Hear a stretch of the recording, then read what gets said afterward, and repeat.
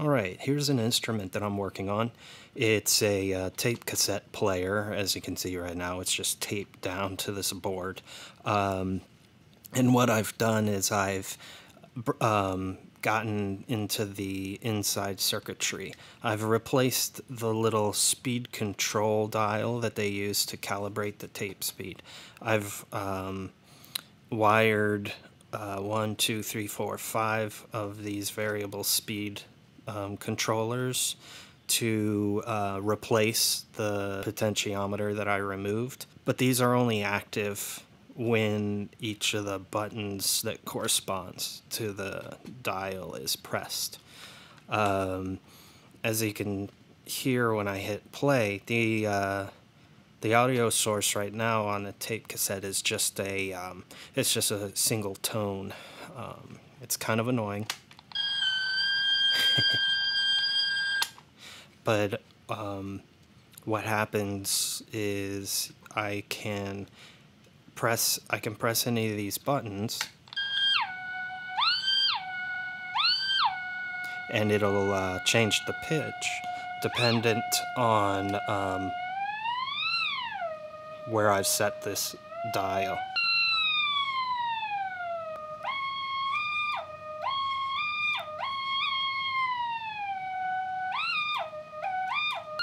I've got uh, some modifications, some additional mods I'm going to do. I'm going to make it so um, the audio signal when you're not controlling the pitch cuts out so you can only hear sound whenever you hit a button. Um, so like with anything else, the magic uh, really happens when you plug this thing and add some effects. So let me show you just the first thing I've done with this here during a test. All right, so I'm going to take a signal out. This isn't the best option, but I'm going to find a new way of getting the signal out.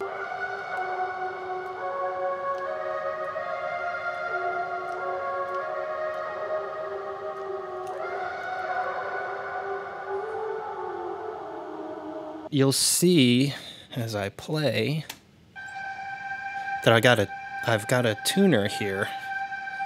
Um, and it it'll tell you um, around the note that you're playing. I've got an EQ. Um, I've got this little AlterBoy on it, and um, this is taking the pitch and, and dropping it and still letting some of the higher pitches through. I got a nice thick reverb. Um, I can activate this tremolo in a second, and then another EQ that's just helping um, to tame some of the low end that these um, that those plugins might add along the way. Uh, if you have a song that you want to use this as a lead for, um, like here's here's something I threw together, and I'll just noodle along with it.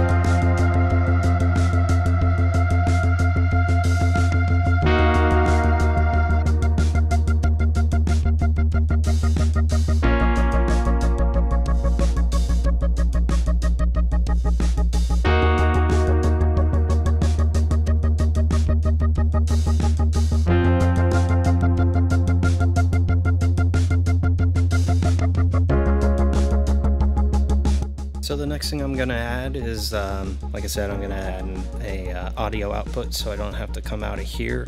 And that audio output's also going to mute the signal until I hit one of these, so it'll be more like a keyboard. There's not going to be a tone running through at all times. And of course I have to build a uh, more functional case for this um, that'll look nice. I'm also going to add a few more keys um, to give a few more playing options and I'm going to build it like a piano.